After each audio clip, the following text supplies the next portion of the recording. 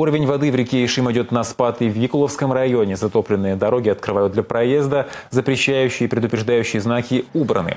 Работники ДРСУ проверяют пригодность проезжей части на пострадавших территориях. Закры... Закрываются и пункты временного размещения. В ближайшее время будет организован вывоз вещей. В районе продолжается обработка подтопленных домов. Дезинфицировано 8 домовладений в селе Малышево и 12 в деревне Заборка. Следующий этап – дератизация. Обработке подлежат 77 домовладений рождении.